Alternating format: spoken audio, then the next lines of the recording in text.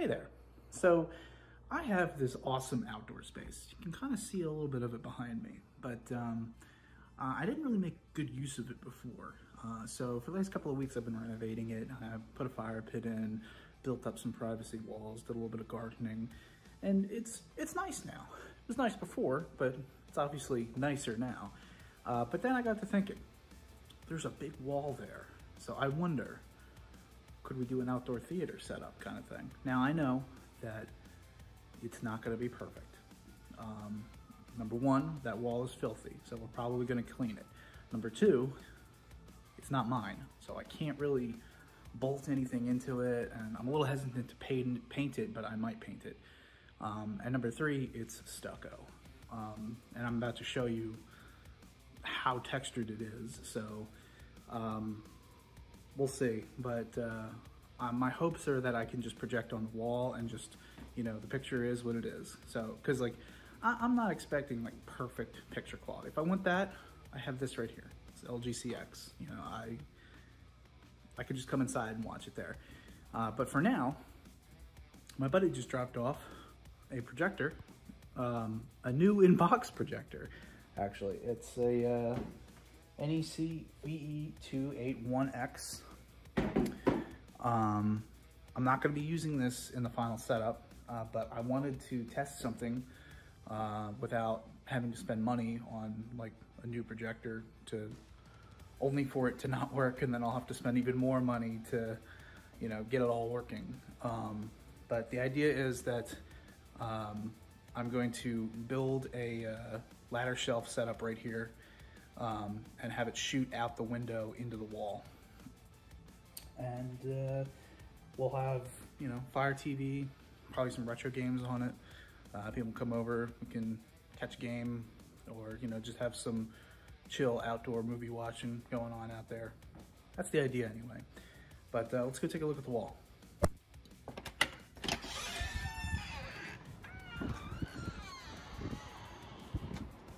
So as you can see, it uh, it's pretty rough. Um, it's not like it's not smooth at all. Uh, and also there's a giant stain going up the length of the wall, uh, right right around right around where I would want to project. Um, so I don't know. I don't know if this is gonna work um, without a little bit of adjustment. Um, but uh, tonight I'm gonna project a, a, test screen up here, see what happens, see what it looks like. Um, the brightness on that projector, it's kind of old, but the brightness on it is about the same as the one that I'm looking to buy. So it should work uh, as far as knowing what we're what we're dealing with picture quality wise. Um, I'm expecting it to look a little grainy because of the texture on the wall, um, but maybe we can fix that with a coat of paint. I don't know. Uh, I really don't want to mount anything on the wall, but we might be able to.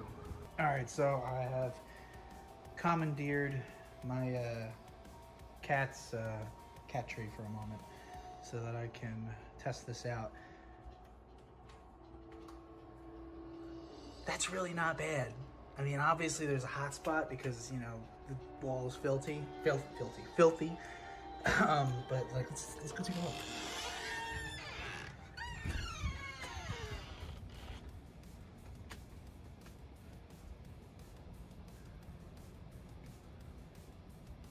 Totally serviceable. Yeah, I think that'll work. Now we just got to build all the stuff up and clean the wall. Maybe we'll paint it, but that works. All right, here we go. The minefield's alive, and the tank lineup is trying to desperately hold on to contest this point. The D.Va Bomb's gonna so, them off very here's the uh, final product. Got the screen up. Uh, Set the hooks in.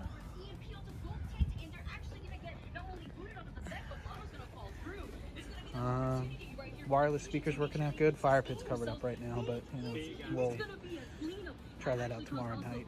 Um, so we'll get, get some updated pictures. But here's the whole thing. Pretty sweet.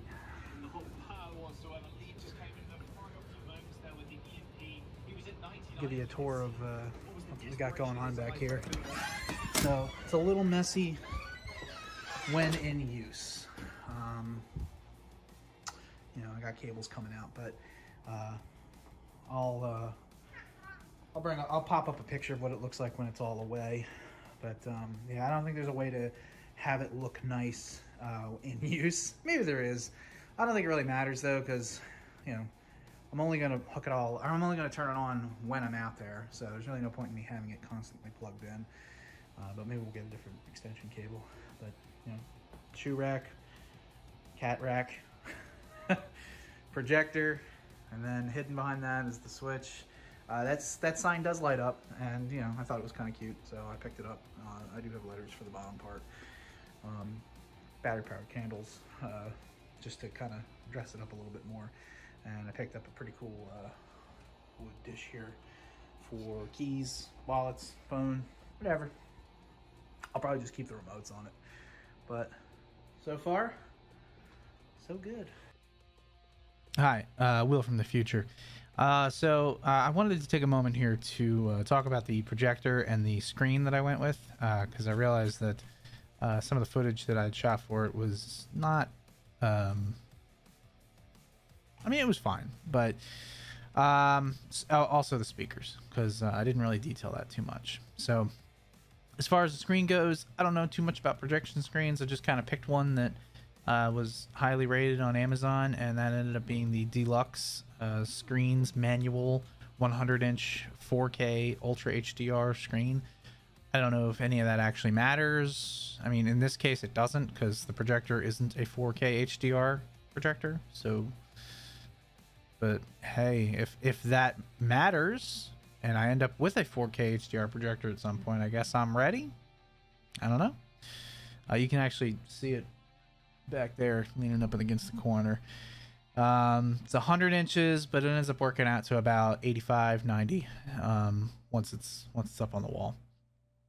Uh, as far as the um, audio goes, the speakers are uh, Soundcore flares, uh, and they are they are the original version. Because so, I, I wanted those specifically because they had stereo pairing, and the new versions only do 360 audio pairing, and it's like they can pair up to 99 different things.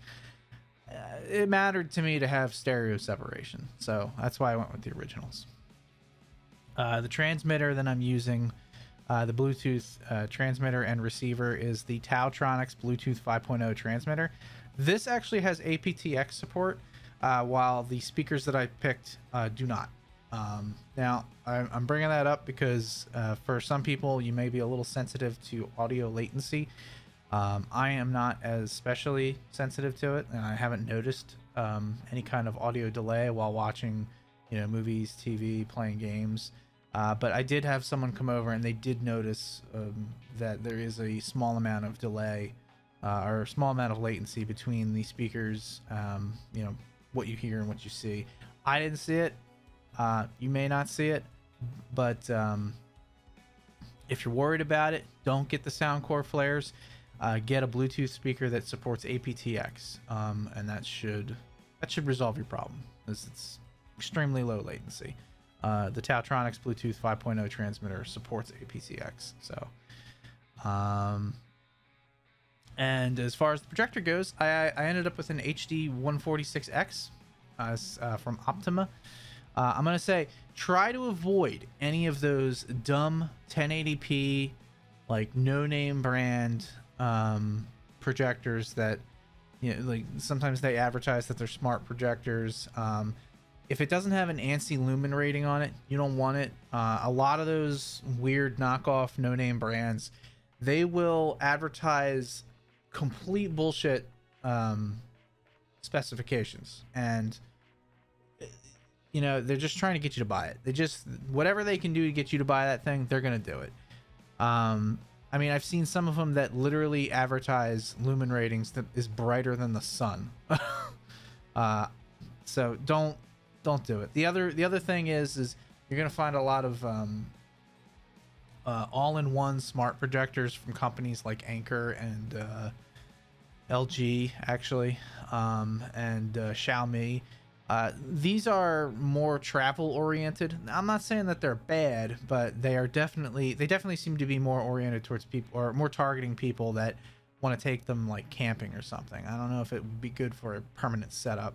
Uh, I've also read that they have some pretty severe latency issues as, as far as the HDMI port goes. Uh, so if you intend to do any kind of gaming on it, uh, you may not want to use those. But um, uh, the ones from Anker, LG, and Xiaomi seem to be pretty good. Uh, that's if you just want to do just TV.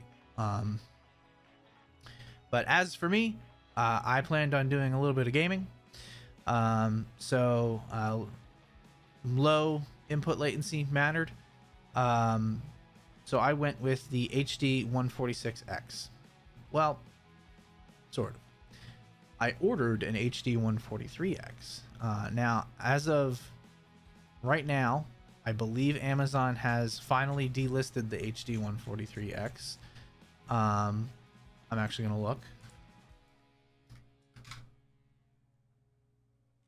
Yes, the HD 143X has finally been been delisted. But at the time of when I purchased it, it was still up for $500. And when I ordered it, I got an HD 146X in the mail. Um, there's some pretty big differences between the two. Big one being uh, one of them has two HDMI ports and the other one doesn't. Uh, the one that doesn't is the 146X.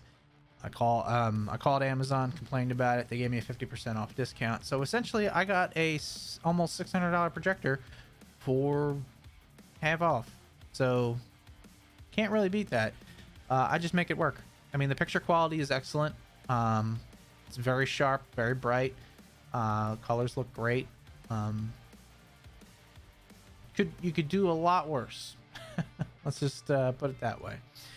Um, and it has a game mode too as well. So you know if if, if the default latent if the default input latency is is even too much for you, then you can always pop it into game mode. But be aware you can't use the uh, keystone adjustment if you do that. Uh, and then finally, the way it's mounted. Um, you may have noticed it in some of the other clips. I just had it sitting on that shelf. Uh, I actually grabbed a um, low profile uh, monitor mount, uh, mounted it upside down on the shelf that it was sitting on when you last saw it. Um, that way uh, I could adjust the um, height and level of the monitor independently of the shelf. Since my floors are uneven, um, it was a little crooked when I uh, put it when I initially was using it. So now I'm able to adjust it so it's not as crooked. Um, I mean, there's not, there's only so much you can do. um, but it seems pretty, pretty good to my eye. But that's it. So uh, that's that's the setup. I'm actually going to take a second. I'm going to go run out there and uh, shoot a little bit of extra stuff so you can see uh, what it looks like now, uh, now that all the changes have been made, and there's actually some extra additions in there too that I think you'll probably like. Let's go take a look. All right, so here's the finished product. Uh, so I got the sign. There's actually a switch hiding back there. Uh, second shelf is uh, controllers, remotes, anything that I would uh, need to make all this stuff work. So throw my keys, wallet there. Uh, third shelf is speakers, uh, the projector, which is now propped up on the mount that I mentioned. Uh, and uh, since we came under budget, I went ahead and picked up an Xbox Series S. Uh, that is running RetroArch. Uh, I do retro games. Uh, I play stuff that doesn't require too too much in the way of Twitch reflexes. I just sort of, you know, a lot of RPGs going on out there. Um, a little bit of Final Fantasy X, uh, Yakuza, Dead Cells, that kind of stuff. Second to last shelf is the cat bed because my cat claimed it. He likes to watch birds out there. There he is. And the last one's a shoe rack. Um, all told, minus the Xbox, because again, we did come under budget, and I, I, decided to splash out a little bit. Um, it was about 750 bucks to do all this. Um, that includes the uh, fire pit, actually, and all the stuff to get the wall uh, ready for the uh, projection projection screen. Um, but yeah, that's that's my outdoor theater setup. Um, make sure you, if you like this, make sure you uh, hit like on the video. Uh, subscribe if you want more. You know, that helps me out. Uh, if you want to chat, head on over to discord.com forward slash eposvox. I know, that's not me, but that's where I hang out. And there's a lot of cool creators there. Uh, so come on over, hang out. Um, and also, make sure you head over to backingtrack.gg. That is my royalty-free rock and heavy metal music service. We started it for creators like you. If you're a streamer and you want rock and heavy metal in your streams, there's only one place to go, and that's backingtrack.gg. But that's all I got for you. So, I'll see you on the next one. Bye.